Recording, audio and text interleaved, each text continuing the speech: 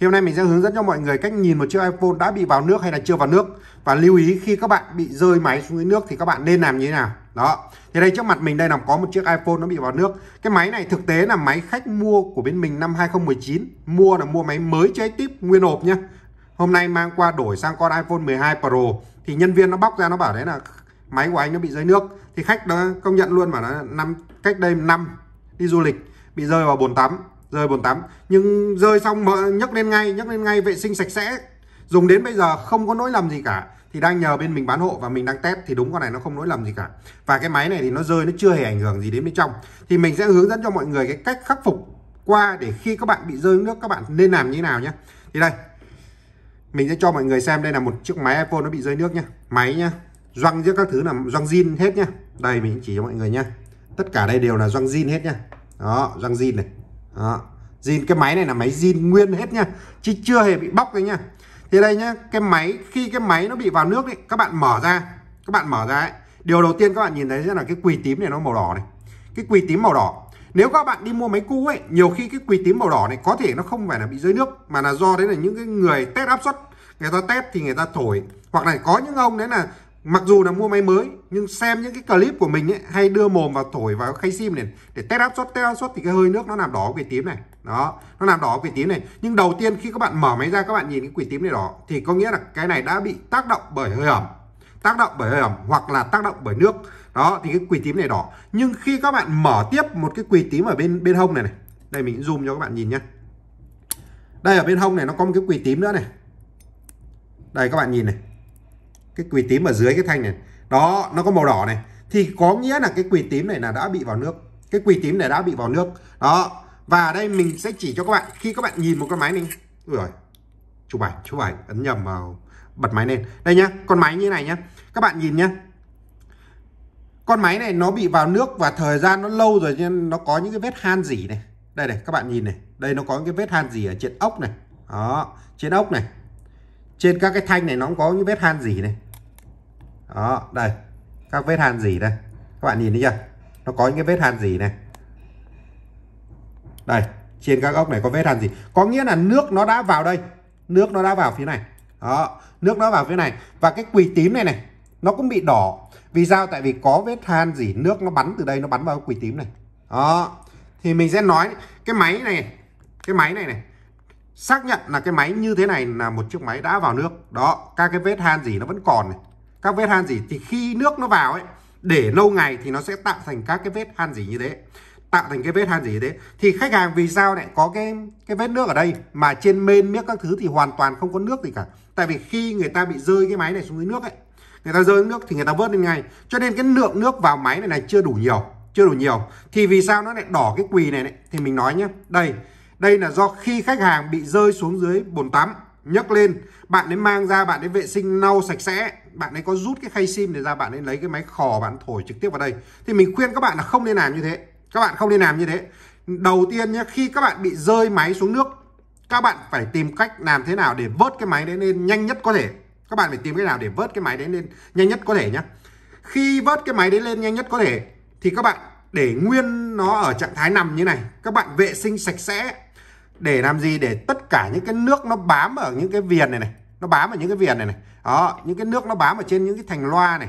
Những cái nước nó bám ở đây này. Bám ở trên những cái này.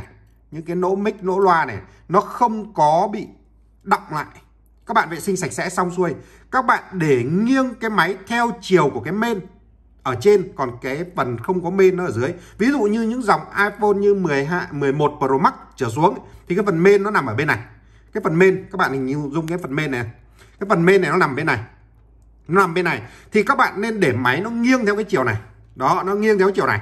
Cầm cái máy nghiêng theo chiều này và đi ra một cửa hàng gần nhất để các bạn mở máy ra kiểm tra xem cái lượng nước nó vào bên trong. Là nhiều hay ít? Các bạn phải nhớ nhé để kiểm tra cái lượng nước nó ở trên bên trong. Vào nhiều hay ít? Nhưng đối với những con iPhone như 12 12 Pro 12 Pro Max ấy, thì cái phần mềm nó nằm bên này thì các bạn nên nghiêng nó về phía này nhé. Đó nghiêng làm thế nào để cái cái nước ấy các bạn phải nhớ này nghiêng này trúc nó xuống thì cái phần này này, các bạn phải để ý này, cái phần này là cái phần nó không có cái gì cả, chỉ có mỗi cục dung này, có mỗi mấy cái dây cáp sạc. Những cái này thì nếu nó có hỏng, nước, nếu mà lượng nước nó chui vào đây nó có làm hỏng những cái này thì các bạn khắc phục nó sẽ dễ, khắc phục nó dễ. Nhưng nếu lượng nước nó chui vào nó làm hỏng cái men này này, thì các bạn khắc phục rất khó. Hoặc lượng nước nó làm hỏng cái phần pay ID thì cái cái hậu quả nó sẽ lớn. Cho nên là khi các bạn lên ấy, vệ sinh sạch sẽ, tắt nguồn đó, tắt nguồn vệ sinh sạch sẽ. Tắt nguồn để làm gì? Để chống chập, cháy chập.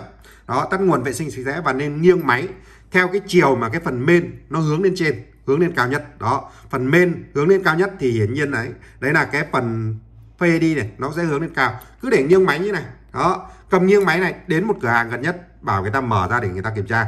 Thì ở đây mình nói vì sao một con máy như này bị rơi nước. Bạn ấy bị rơi nước mà bạn ấy dùng một năm rồi nó chẳng bị làm sao cả nó chẳng bị làm giàu cả. Và đến bây giờ đấy là mang qua nhờ bọn mình bán hộ ấy. Thì mình bảo đấy là, bây giờ là bạn đã chuyển đủ tiền con 12 Pro. Chuyển đủ tiền rồi.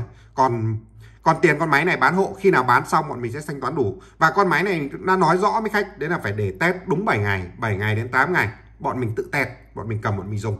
Đó. Xong thì bọn mình mang thanh lý thanh lý xong sẽ trả lại đủ tiền cho. Đó. Thì con máy này vì sao nó lại có thể vẫn bền như thế? Tại vì các bạn biết đấy là cái lượng nước nó vào đây là chưa nhiều cái lượng nước nó vào rất là ít. Cái lượng nước này là nó sẽ bám theo cái viền này nó ví dụ nó vào những cái vết han gì thì các bạn nhìn thấy nó rất ít. Tại vì cái lượng nước có thể nó sẽ chỉ chui vào đây có một giọt nhỏ rất nhỏ thì nó chỉ làm han gì những cái ốc lượng nước nếu nó nhiều ấy nó chui vào cái phần thành thành này này và nó tràn vào phần mên này, này thì nó sẽ làm chập những cái phần linh kiện bên trong cái mên này. Thì lúc đấy nó sẽ gây ra hỏng cái máy của các bạn. Cho nên là các bạn đừng có theo kiểu đấy là bảo đấy là ngâm vào bì gạo hay là máy sấy sấy. Như thế không ăn thua. Mình nói thật đấy là khi máy bị rơi nước thì lên mang ra một cửa hàng gần nhất để người ta mở ra xem. Cái lượng nước bên trong là vào nhiều hay ít. Đừng cố là vẩy nhé các bạn nhớ là đừng có vẩy. Vẩy thì nếu lượng nước nhiều nó cứ đào đi đào lại, cuối cùng là cả cái men của bạn nó thấm ướt hết. Và nhớ là tắt nguồn trước khi đấy là vệ sinh máy. Rơi xuống, nhấc lên, tắt nguồn ngay, tắt nguồn ngay. Rồi vào vệ sinh sạch sẽ các thứ để máy nghiêng lên, men ở phía trên. Đó và lưu ý một điều nữa đấy là máy iPhone theo tiêu chuẩn của thằng Apple nó bảo là kháng nước chứ không phải là chống nước. Cho nên là đừng có cố gắng mang những chiếc máy iPhone này xuống dưới biển để chụp ảnh nhá. Nếu như thế thì các bạn sẽ làm giết nó sẽ càng nhanh hơn. Rất nhiều người đấy là nghĩ đấy là một lần nó rơi vào bồn tắm, không sao, nhấc lên, dùng vẫn bình thường. Các bạn nghĩ đấy là cái máy của các bạn nó đang chống nước đúng không? Không phải, tại vì cái nước nó vào lượng nó nhỏ, các bạn vớt lên ngay. Lượng nước nó nhỏ, nó không đủ để giết chết cái máy của các bạn nhưng nếu mà lần sau nữa các bạn đi các bạn lại ngâm vào nữa thì lượng nước nó vào nó nhiều hơn thì nó sẽ giết chết. Thế nên là có rất nhiều ông đấy là rơi xuống bồn tắm một hai lần đách sao cả. Tự tin lắm cầm cái máy của các ông ấy đi ra biển các ông nhảy xuống các ông chụp nặng chụp xuống à, nặng xuống biển các ông chụp. Và cuối cùng lên là nó chết ngay. Tại vì các bạn phải nhớ một điều đấy. Cái doang cái doang áp suất này, này cái doang áp suất này này nó chỉ chống nước gọi là chống nước nhẹ thôi chứ không có tác dụng chống nước nhiều nhé.